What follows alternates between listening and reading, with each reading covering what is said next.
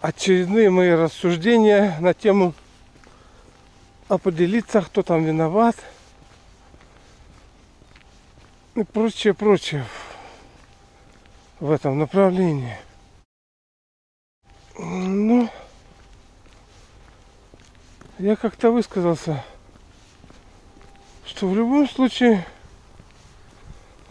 виноват тот, кто страдает. Страдалец. Он же пациент. Почему он виноват? А потому что он не позаботился о том, чтобы разобраться, ну так как мы говорим о здоровье, в основном, на чем оно вообще базируется, здоровье человека, как его поддерживать. Он абсолютно в этом не хочет разбираться, а хочет только наслаждаться. И чем больше считает, тем лучше. Ну а тут в обществе так уж завелось, что существуют разного рода люди, которые ну, оказывают услуги в здоровья. Так это своими словами, если назвать, услуга. И они, конечно, рады ему помочь. Помочь с тех позиций, с которых их научили. Это тоже важно понимать. Как научили.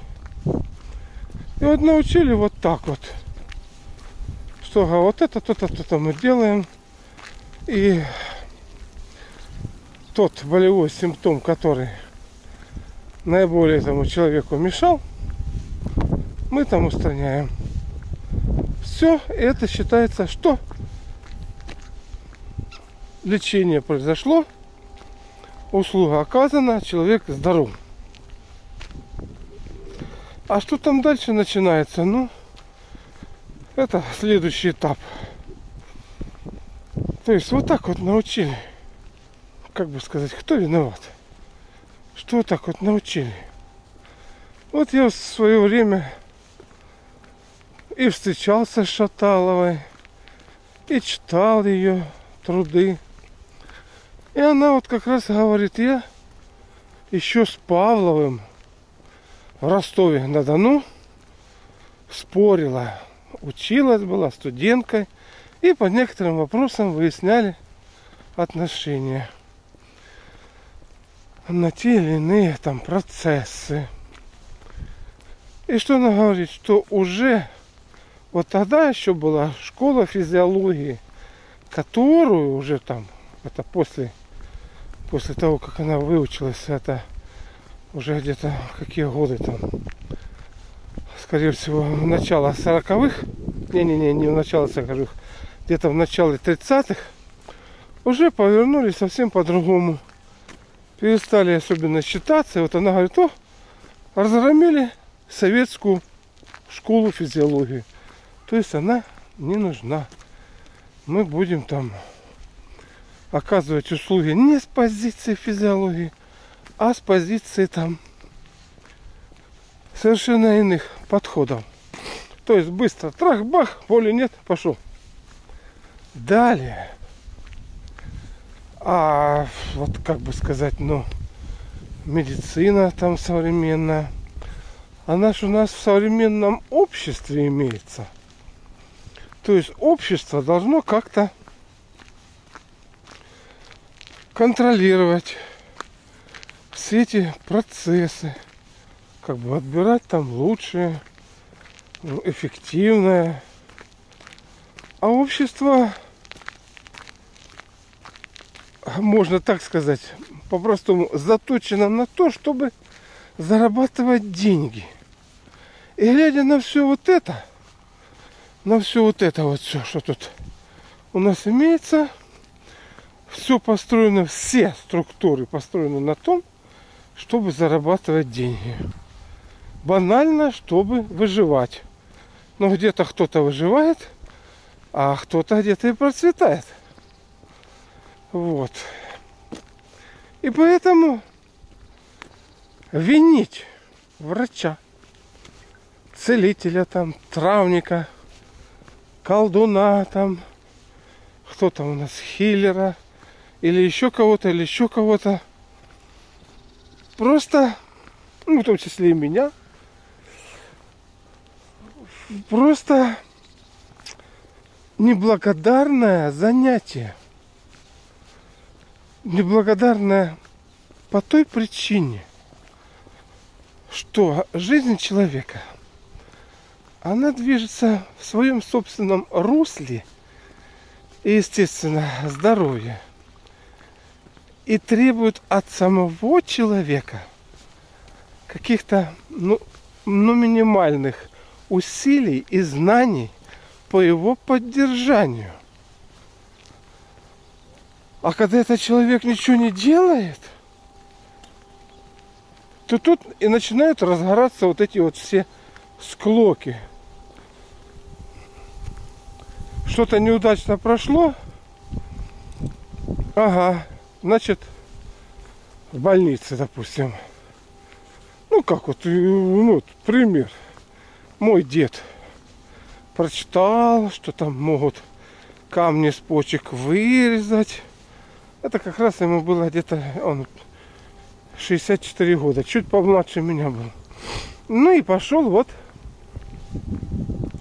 можно сказать, на плановую операцию, после которой его, его, значит, похоронили. И я видел реакцию, я там маленький был еще, я, я видеть видел, но понимать, что, что, как произошло, так еще, еще не это, не соображал. А вот зато он, как он крыл этого врача, до сих пор помню его фамилию, Мостовой, который зарезал деда. Вот так он говорил. Вот вам и, и отношение к медицине. И причем человека, которому не делали, а который вот оказался родственником. А, а опять-таки, а кто виноват, будем сказать? Вот мостовой, он там согласно э, тому, чего его научили, проделал там операцию. А насколько там у деда здоровье было, чтобы все это дело перенести, Никто как-то это не сказал. В результате вот такая ведь вещь произошла. То есть отец был вне себя. Да и вся семья была вне себя на всю эту медицину на, и конкретно на этого врача. А вот сейчас я вот рассуждаю. Ну вот мой дед а, одно мнение знал – о том, что вот эти камушки можно вот так вот значит, удалить из организма. Но существуют и другие мнения. Вот когда они есть, и человек, ага, прикинул и так, и сяк, и так, и сяк. В то же время, в то же время можно было там, допустим, пойти там к целителю, который тоже что-нибудь бы сказать, пообещал там, рассказал там травник. И говорит, да вот, знаешь, его звали Иван Георгиевич, мой дед. Иван Георгиевич, ну вот я, допустим, делал 20 человеком там вот эту вот там процедуру, и все нормально будет. Да, и тебе там сделаем все, это, это, это, это.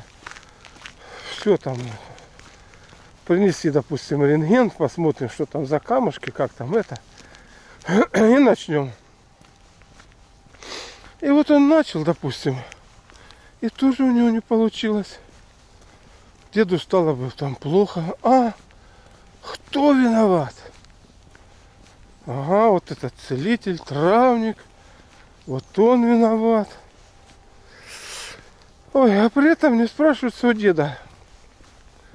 Ну это, ну а что ты там сам сделал для того, чтобы вот эти камушки там не образовывались или как-то их как-то так вести там свой образ жизни.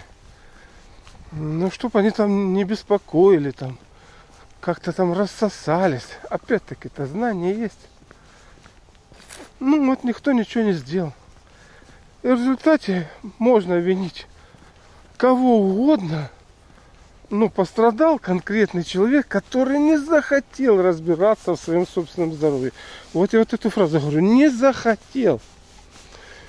А раз он не захотел, значит, думает, что проблемы его решают. Вот так и решили. Далее, вот различные там форумы по чистке печени, там и вообще по оздоровлению. Я так краем уха слушал. Ну вот смотрите, это все идет от того, что нехватка знаний. Вот насчет питьевой соды. Одни говорят, пьем, там от онкологии лечимся, вот что это там помогло, что это хорошо, все так отлично. А другой выпил, говорит, да вы что, я на этой соде загубил себе желудок.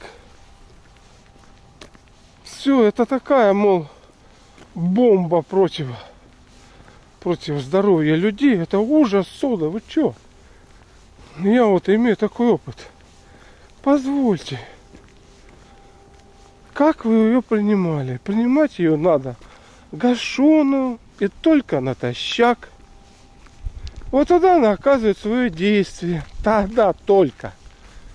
А если ее принять после того, как вы покушали и приняли соду, значит, испорченный желудок, пищеварение гарантированы кто виноват. Вот это вот, вот это кто виноват.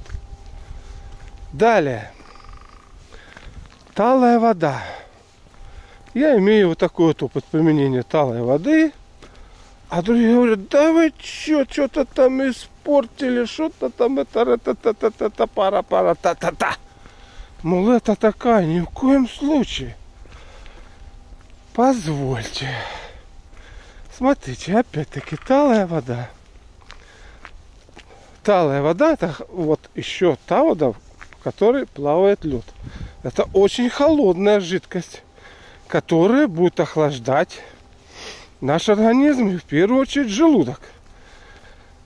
А желудок любит теплоту для того, чтобы он переваривал.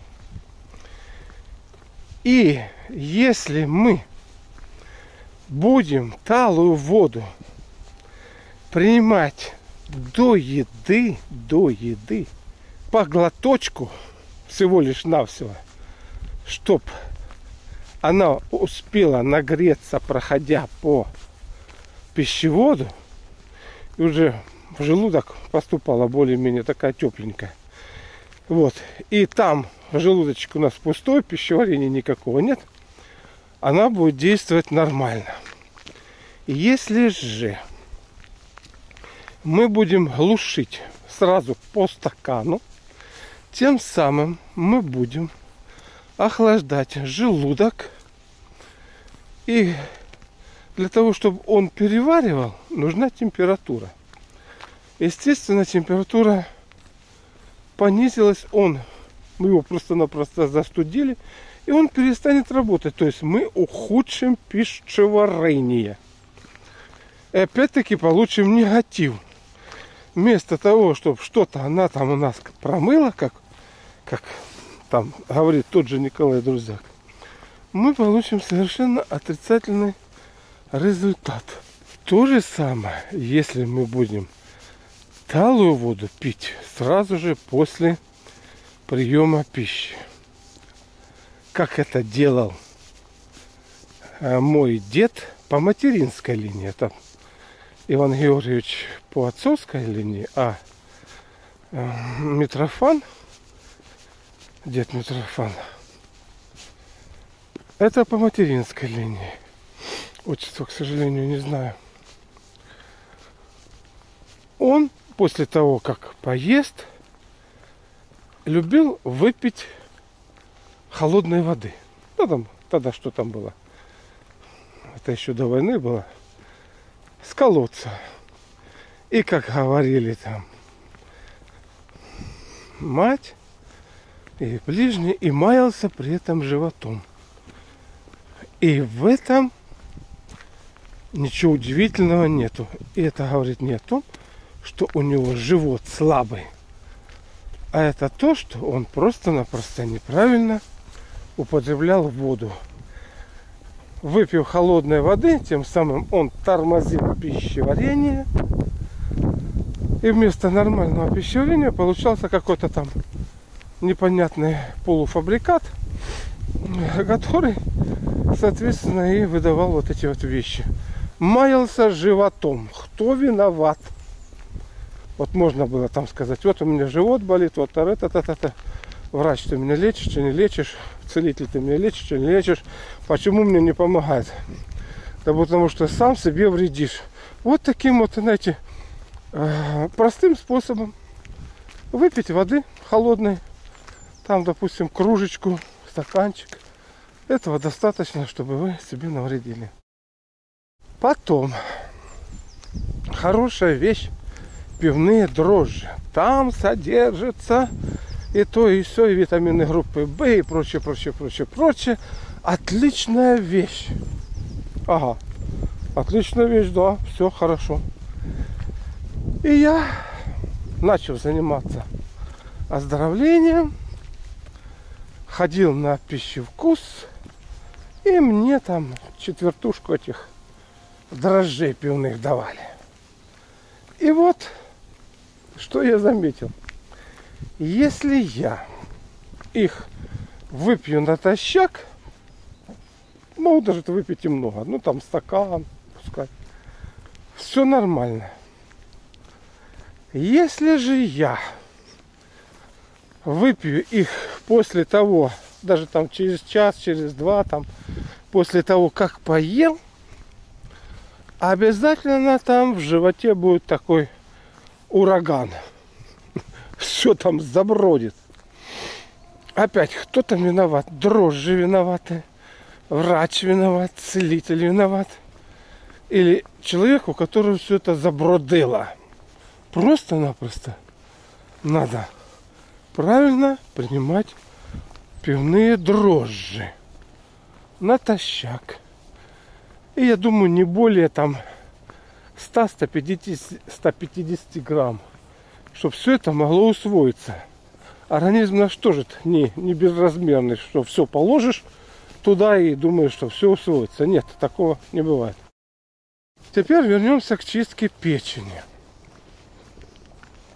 Для того, чтобы чистка печени прошла удачно и вы получили эффект, надо сделать ряд процедур.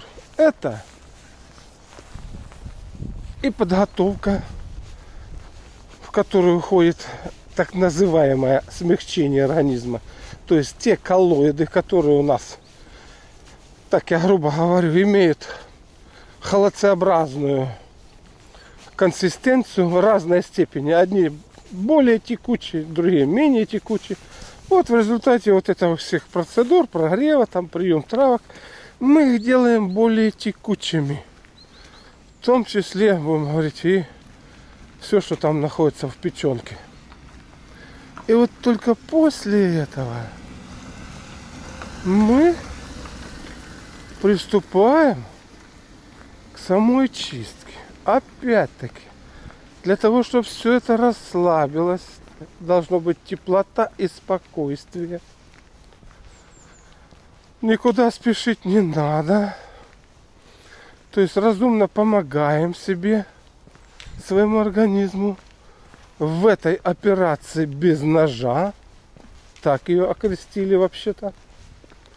И в результате за счет мощного желчегонного эффекта и расслабления всех наших там вот этих вот проток, насколько они могут расслабиться, сфинктеров, насколько они могут опять-таки расшириться и не, и не зажаться – от страха или еще от каких-то там каких-то там эмоциональных моментов, либо других.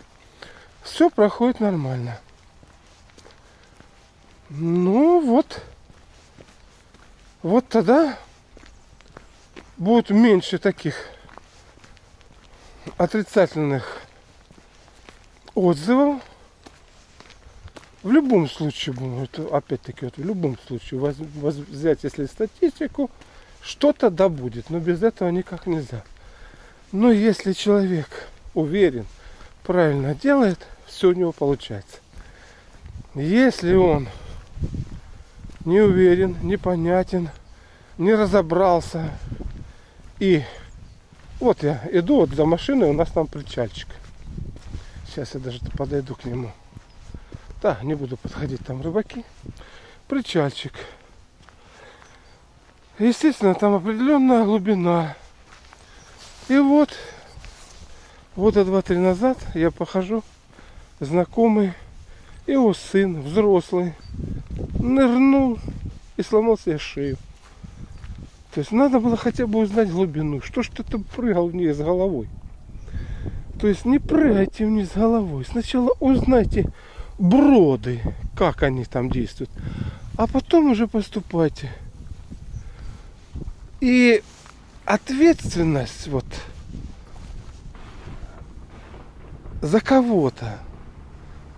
Вот видите, все интересно так устроено, что официальная медицина, она практически не несет никакой ответственности.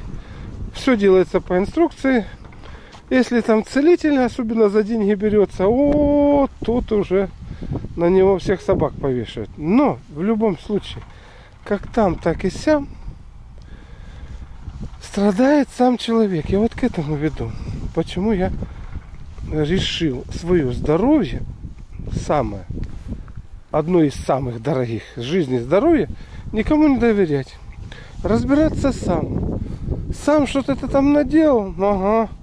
Сам, значит, и виноват. Не винишь кого-то там такого, вот такой, такой, такой. -то, есть и, и для того, чтобы вот это вот не винить самого себя, значит, надо разбираться, читать, изучать, потихоньку пробовать. А брать ответственность, тем более за чужого ребенка или еще там за кого-то там, ну, это, ну, понимаете, я вот э, меня позиционируют как целителя. Нет, я занимаюсь здоровым образом жизни, ну, при случае там что-то, что-то могу там подсказать. Вот в здоровом образе жизни, куда там человек зарулил, я тут, как бы сказать, посмелее действую, подскажу, что вот так вот, вот так вот. А это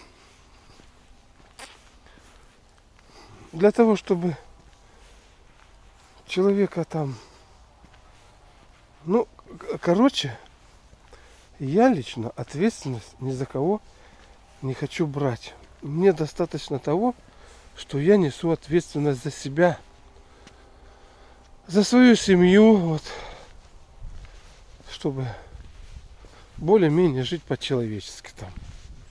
А что даже касается здоровья сына, там, дочери, жены, они уже взрослые люди, и они там все это понимают со своих позиций. И тут я им не указчик. Вот, вот я хочу вот это вот понять, это донести до вас донести до каждого. Это самая, вот, самая стопроцентная правда. Винишь ты кого-то, не винишь ты кого-то. Если это случилось с тобой, ты там страдаешь, то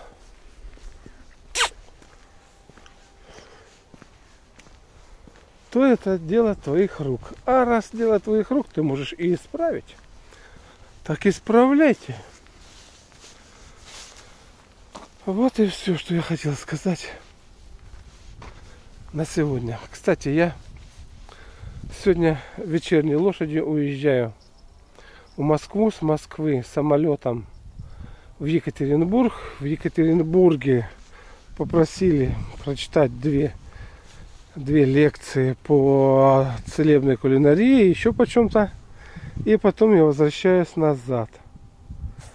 Так что какое-то время меня на канале не будет. И я вот потихонечку от каких-то вот этих споров, от этого всего буду отходить. Отходить на иные интересные и не менее важные темы.